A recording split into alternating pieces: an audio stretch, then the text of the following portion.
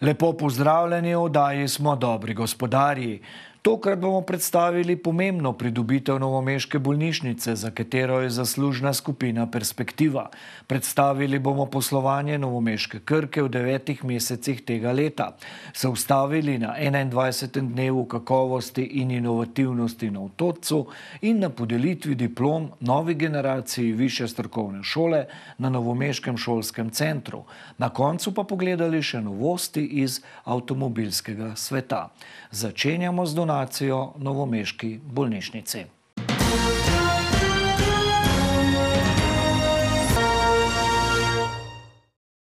V Novomeški splošni bolnišnici stremijo k stalnemu posodabljanju svoje opreme in aparatur, saj se zavedajo, da le tako lahko bolnikom zagotavljajo še kakovostnejše in varnejšo obravnavo. Tako bo kmalo v uporabi nov laserski aparat za drobljenje kamnov v sečilih, kar bo velika pridobitev za bolnike z urološkimi težavami.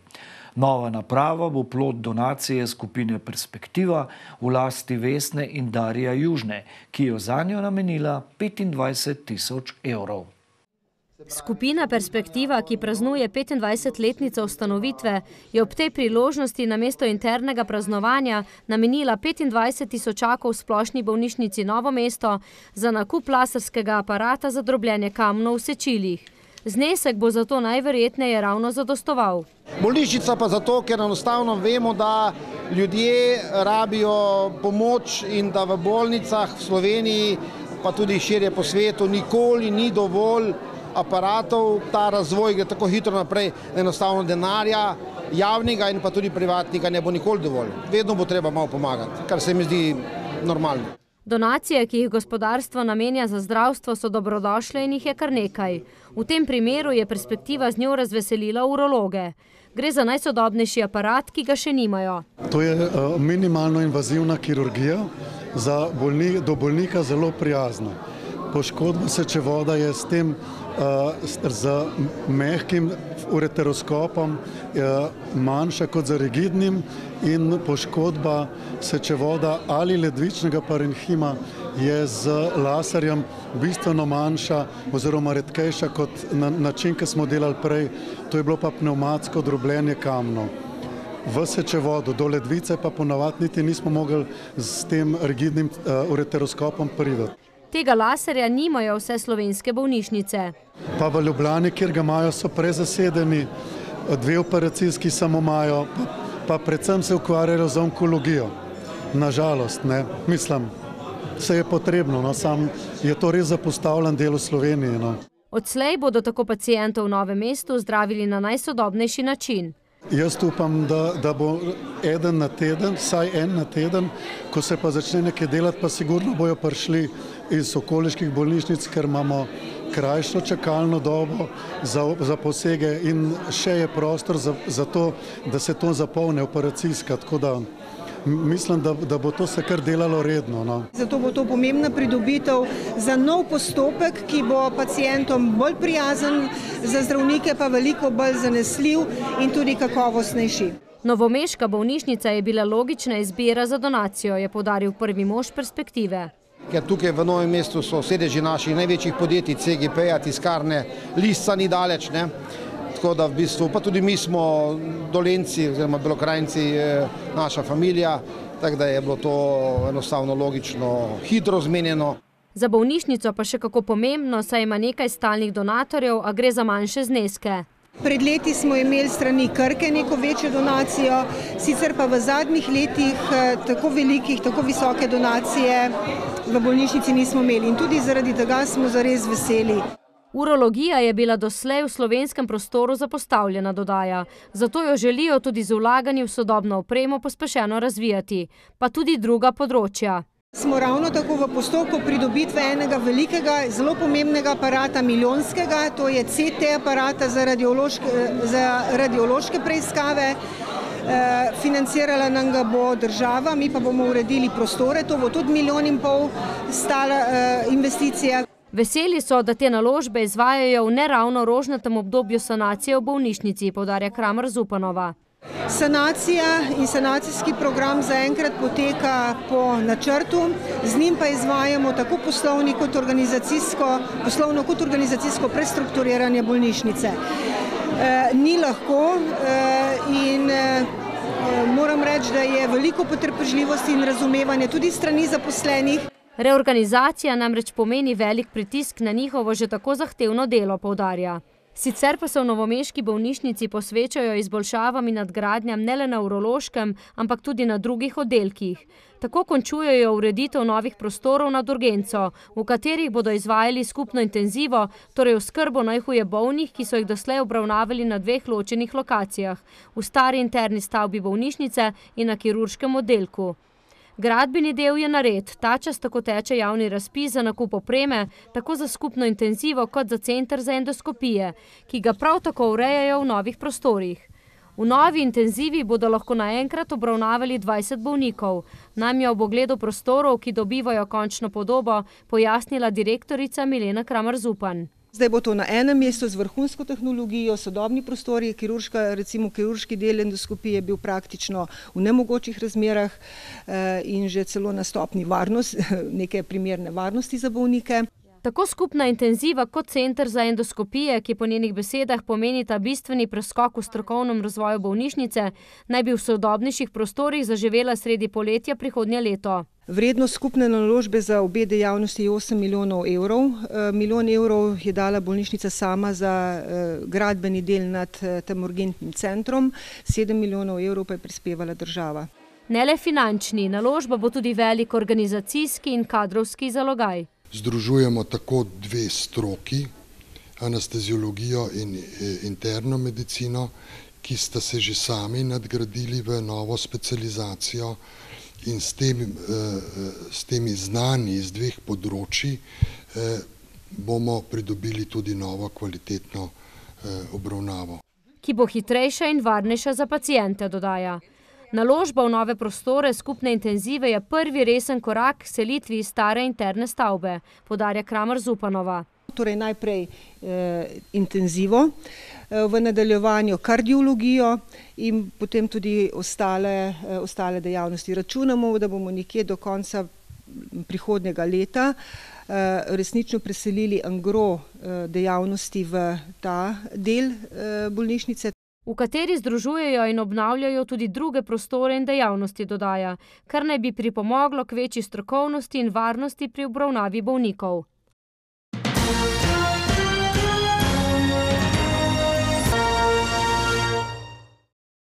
Iz bolnišnice pa se selimo v farmacevtsko podjetje.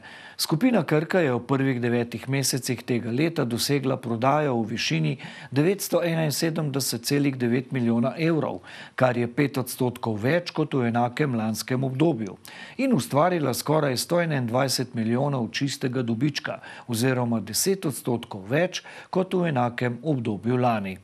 Poročilo o poslovanju skupine in družbe Krka v obdobju od januarja do septembra 2018 je na nedavni redni seji obravnaval nadzorni svet družbe Krka. Na trgih zunaj Slovenije je Krka prodala za dobre 903 milijone evrov, kar je 93 odstotkov prodaje skupine. Rast prodaje je zabeležila pri vseh skupinah izdelkov in storitev in na večini trgov. Največja prodajna regija skupine je bila vzhodna Evropa s skoraj 30 odstotnim deležem v skupni prodaji. Regija Srednja Evropa, ki jo sestavljajo države Višegrajske skupine in pribaltske države, je bila s 24,6 odstotnim deležem v prodaji skupine Krka, druga po velikosti prodaje. Sledila je regija Zahodna Evropa s skoraj 22 odstotnim deležem v prodaji. V Sloveniji je Krka prodala za dobrih 68 milijonov evrov izdelkov, kar je 7 odstotni delež v skupni prodaji. Z 8,7 odstotnim tržnim deležem je tako ohranila vodilno mesto med ponudniki zdravil na domačem trgu. V prvih devetih mesecih leta 2018 so v Krki registrirali 16 novih izdelkov v 36 farmacevtskih oblikah in jakostih ter za 103 izdelke na različnih trgih na novo pridobili 606 registracij. Tudi letos so v novomeškem farmacevtu vlagali v raziskave in razvoj, saj so za naložbe namenili 66 milijonov, od tega 52 v obladojoči družbi. Tako so predvsem povečevali in posodabljali proizvodne in razvojno-raziskovalne zmogljivosti. Krkina ključna naložba za potrebe razvojne dejavnosti in zagotavljanje kakovosti v prihodnjih letih je 54 milijonov evrov vreden razvojno-kontrolni center 4 v Novem mestu, ki so ga zgradili v neposrednji bližini drugih treh razvojno-kontrolnih centrov. Opremljanje laboratorijskega dela je bilo končano lani poleti, v sklepni fazi pa je dodatno opremljanje prostorov namenjenih razvoju. Dobava in ugradnja farmacevtske opreme že potekata, montaža in zagon pa bosta predvidoma končana do konca leta dva tisoč osemnajst. Kaj pa zaposlovanje? Konec septembra je bilo v skupini Krka enajst tisoč dvesto šestindvajset redno zaposlenih, kar je tristo štiriindevetdeset oziroma štiri odstotke več kot konec leta dva tisoč sedemnajst. V tujini je delalo dobrih enainpetdeset odstotkov vseh zaposlenih. Načrti skupine Krka za naslednje leto so vnovič smeli. Prodaja v višini milijarde tristo petinsedemdeset milijonov evrov in dobiček v višini sto dvainsedemdeset milijonov. Za vlaganja, namenjena predvsem povečanju in posodobitvi proizvodnih zmogljivosti in infrastrukture, načrtujejo sto štiriindvajset milijonov.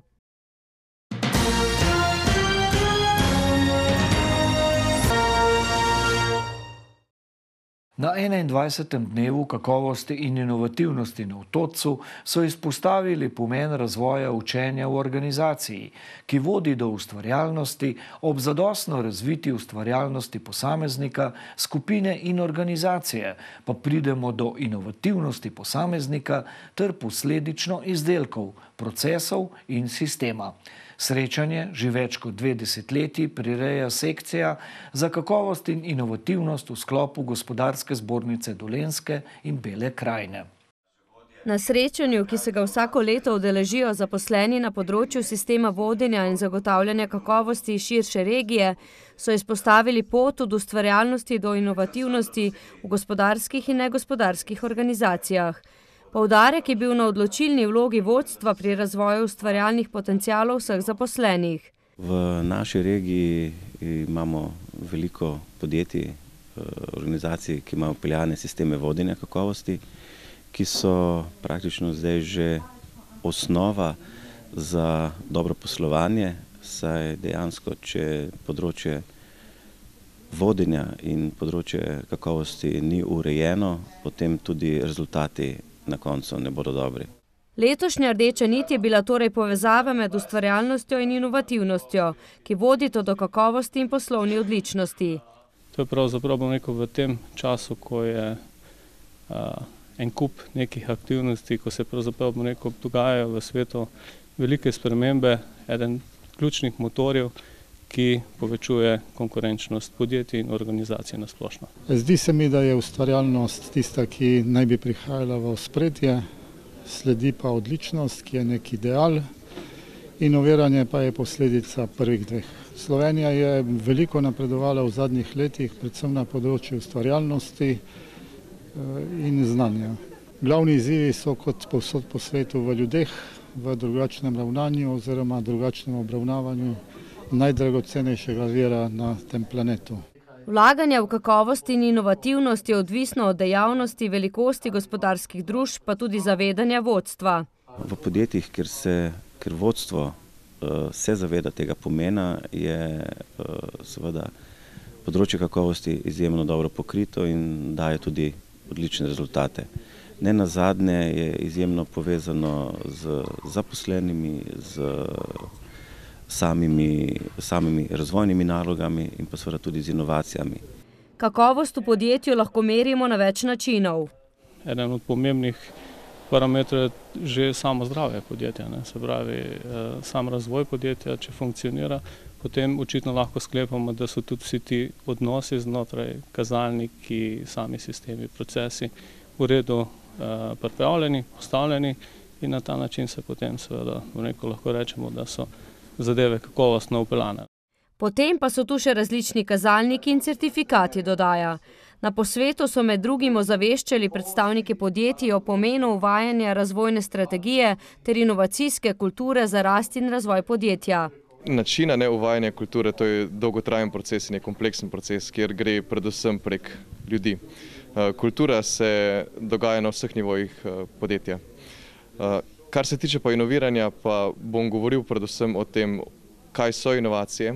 Inovacije so tisto, so ideje, so invencije, ki jih uspešno podjetja prenesejo na trg ali pa bodi si v svoje proizvodne obrate. Govoril bom o strategiji, kako se lotiti strategije, kako pripraviti vizijo podjetja. Strategija je pot do implementacije zastavljene vizije.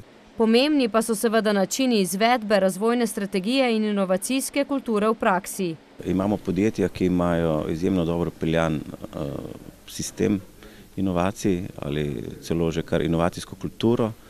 Določena pa seveda delovna področja inovacij imajo uh, ta del seveda dobro pokrit, določene imajo pa še velike priložnosti za izboljšave. Kajti le uh, inovativni proizvodi, inovativne tehnologije in pa razvoj zaposlenih na teh področjih pomenijo tudi razvoj družb.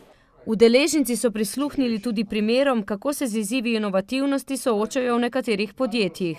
Pod prvo je nam pomembno, kake, da najdemo najboljši kader, ki je inovativen in pač, ki ima tudi osnovna znanja. Na to veliko časa mentori vlagajo v zaposlene, zato da pač izoblikujemo kader takšen, kot si ga želimo, ki je pač potem najbolj inovativen in po drugi strani pač tudi prijazen do strank, razvija rešitve, ki jih naše stranke želijo. Ob koncu so predstavili inovativnost na ravni Dolenske in Bele krajine skozi pregled inovacije od leta 2005 do 2018.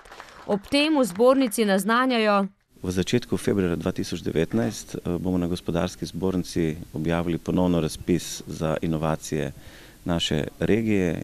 Zato pozivajo podjetja, da prijavijo inovacije, ki so jih ustvarili lani in letos.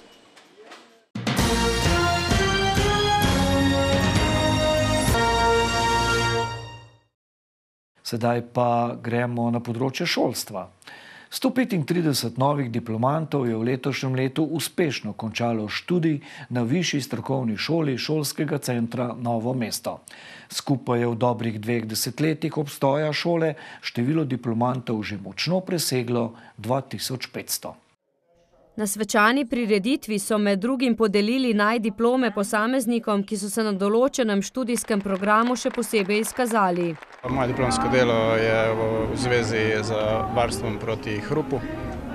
To je v bistvu pač eno, ena konkretna naloga bila v enem podjetju, konkretna rešitev za varstvo proti hrupu. No. V prvi vrsti treba hrup zmanjšati, ne pa um, varovati ga. Ne, Je pa pol alternativa varovati proti hrupu, to so pa protihrupne ograje, pa so učinkovite. Jaz sem delala praktično od empirični del na srednji zdravstveni šoli Celnik, kjer sem bila tudi jaz bivša dijakinja in me predvsem zanimalo to, kakšna je prehrana pač dijakov iz srednjih zdravstvenih šol v primerjavi z drugimi, ker dijaki zdravstvenih šol imajo še dodatno znanje o sami zdravi prehrani. Govori o EPS ploščah, se pravi o stiropornih ploščah, kjer smo naredili neko izboljšavo. Dokaj zahtevna naloga, kjer je v bistvu tudi naši firmi dosti pomagala. Firma je pač Fragmat, Laško. Novi diplomanti so zelo zadovoljni z izobraževalno izkušnjo na višji strokovni šoli. Šola je nekaj kvalitetno, ja, je tako praktično naravnano, tako da bi ga kar priporočil še komu drugemu. Bi pa zelo pohvalil naše predavatelje oziroma profesorje, ki so bili zelo strokovni, prijazni, dosledni in pa nekaj več dodatno. Vsakem bi v bistvu predlagal oziroma priporočil, če, če imajo že službo, da grejo v bistvu v, v novo mesto in, in študirajo smer strojništvo, ki je danes, se mi zdi, zelo iskana ponovno. Dogodek je vedno nekaj posebnega tudi za vodstvo šole. Vsakoletna podelitev diplom diplomantov višje strokovne šole na našem šolskem centru je izreden praznik, saj seveda praznujemo ali pa nekako obeležujemo uspešnost šole in danes bomo prav gotovo ponosni, ker bomo 135 diplomantom podelili diplome više strokovne šole, ki bodo seveda so že prevzeli pomembne funkcije na delovnih nalogah v gospodarstvu. Če se čisto marketinško stvar gleda, torej mi smo dejansko tisti, ki proizvajamo kader, katerega trg dela potrebuje in glede na to, kak kader potrebuje, je pač naša naloga, da se ustrezno pozicioniramo in orientiramo in da jim zagotavljamo kadre, ki jih potrebujejo in ki so zaposljivi. Prav dejstvo, da izobražujejo zelo zaposljiv kader, je eno od odločilnih dejavnikov, ko bodoči študentje iščejo svojo nadaljno izobraževalno pot. Trenutno višješolski nivo študija, ali če hočete raven više, višjega šolstva, predstavlja tisti del izobraževanja, ki je najbolj tesno povezan z delodajalci, zato ker imamo 40% izobraževalnega programa v obliki praktičnega izobraževanja pri delodajalcih.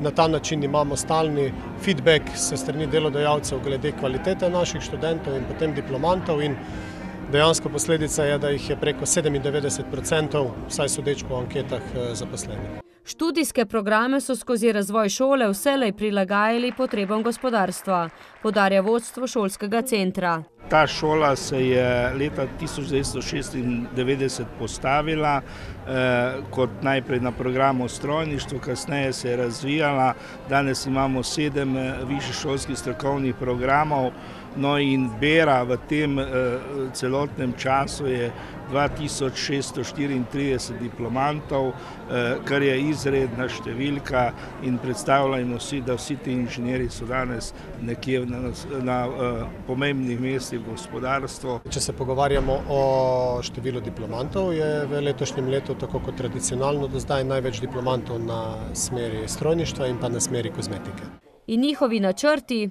Pa izzivi so ti, da glede na dejstvo, da se stalno zaradi nekega tehnološkega razvoja spreminjajo načini dela in če dalje hitrejše so tudi spremembe pri delodajalcih, da se šole dejansko iz nekih togih sistemov prelevimo v bolj fleksibilne, bolj vitke sisteme, ki, smo, ki bomo sposobne dejansko se zelo hitro odzivati na njihove potrebe. Slavnostno podelitev diplom je sicer svojim glasbenim vložkom popestril odlični big band šolskega centra Novo mesto.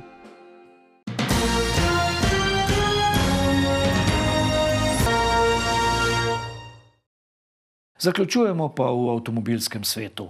Tehnološkem razvoju v avtomobilski industriji smo priča praktično vsak dan.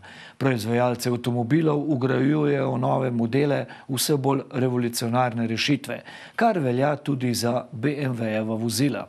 Pred dnevi so v podjetju Makoma v Novem mestu predstavili dve novosti. Odslej sta kupcem na voljo novi BMW X5 in BMW serije 8. S tem se tudi Dolenska in Slovenija pridružujeta državam, ki so imele priložnost kupcem med prvimi ponuditi novi prestižni avtomobilski znamki. Avtohiša Makoma je med ljubitelji jeklenih konjičkov najbolj znana kot pooblaščeni trgovec vozil BMW s poslovnima enotama v Novem mestu in Brežicah. Po besedah direktorja Marka Košmrla imajo za oba nova modela upravičeno visoka prodajna pričakovanja. BMW serija 8 je resnično nekaj posebnega. Serija 8 je v bistvu čisto nov model. V preteklosti, se pravi v 90-ih letih prejšnjega stoletja, tako rekoč, se je že proizvajala serija 8, od takrat pa ni bilo več tega modela.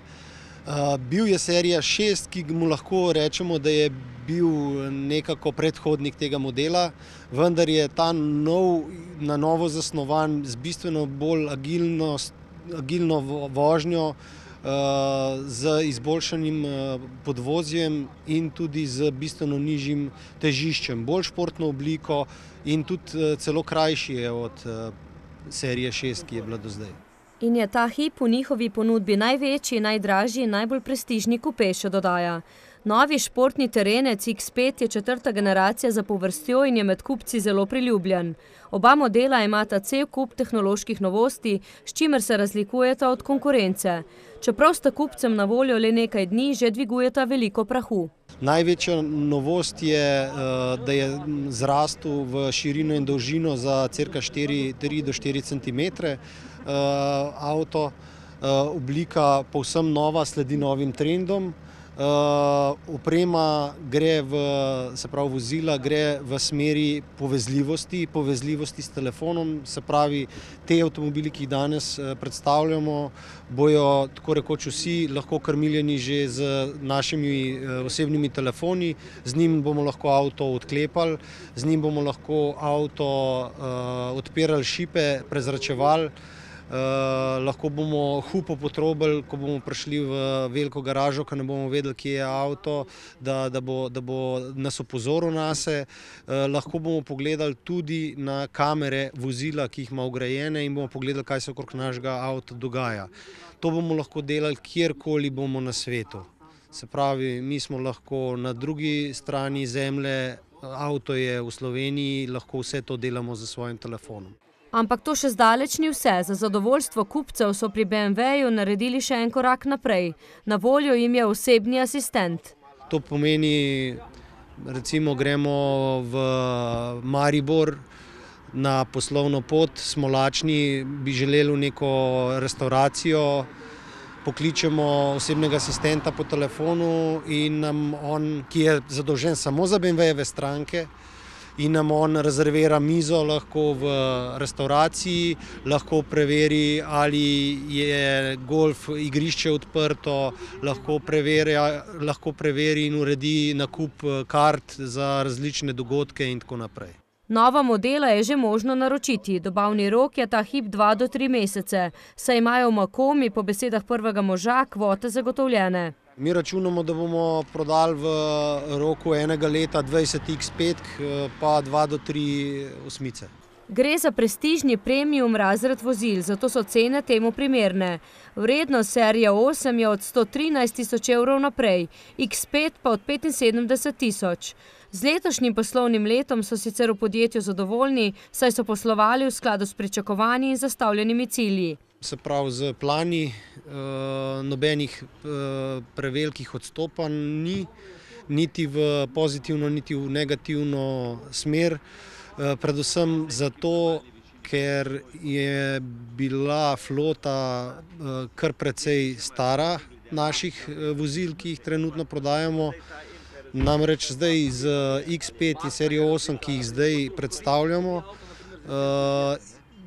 sta dva nova modela. V marcu predstavljamo novo serijo 7, novo serijo 3 in nov serijo Z4. Tako da zdaj bomo osvežili floto, kar nam daje pa velike upe za naprej, za, za, za dobro prodajo in rast v bodoče. Kar pomeni v prihodnjem letu za deset odstotkov višjo prodajo v primerjavi z letošnjim letom, dodaja. Njihovi avtomobili imajo točno določene ciljne kupce.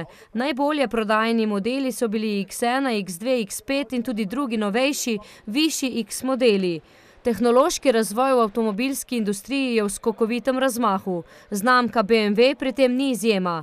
Samovozeče vozilo je že danes stvarnost in na to bo v prihodnje treba resno računati, pravi naš sogovornik. Ja, seveda, oba dva avtomobila, ki jih danes predstavljamo, že, že vsebujeta drugo stopnjo avtonomne vožnje, kar pomeni, da 30 sekund lahko spustimo volan in napišemo sporočilo, se oglasimo na telefon, pogledamo tudi okrog sebe, ni treba, da gledamo na cesto, ker je avto opremljen s senzorji in sam vozi. Se pravi, 30 sekund že to sam dela. Tehnologija je narejena tudi, da že sam voz, vendar ni, ni zakonske podlage še za, za prodajo takih vozil. Um, tako da do leta dva tisoč petindvajset bo stoprocentno BMW-jev avto vozil sam. Eden od modelov, ne bojo pa vsi, niti, niti ne bojo vsi šli v, v, v ta koncept, tudi pri BMW-ju ne. Razvojna usmeritev proizvajalcev v avtomobilski industriji in nadgradnja avtomobilskih znamk bosta v prihodnje v veliki meri odvisni od veljavne zakonodaje. Namreč onesnaževanje okolja igra tukaj veliko vlogo in zaradi tega so, so, so zaščitni ukrepi do proizvajalcev takšni, da morajo zniževati izpust škodljivih snovi.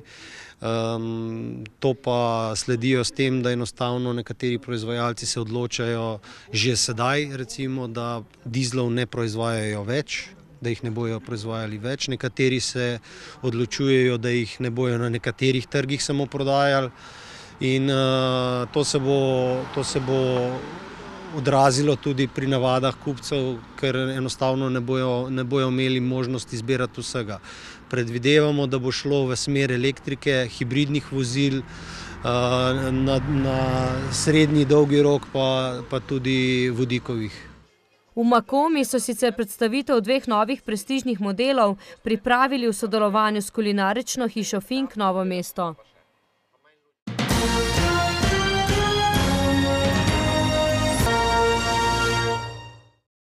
To je vse, kar smo pripravili v tokratni vdaji z gospodarskimi vsebinami. Če ste nas zamudili, se lahko prispevke ogledate na naši spletni strani www.vaskanal.com, arhiv odaj smo dobri gospodarji. Prijetno večer vam želimo in lep pozdrav do prihodnjega tedna. Srečno!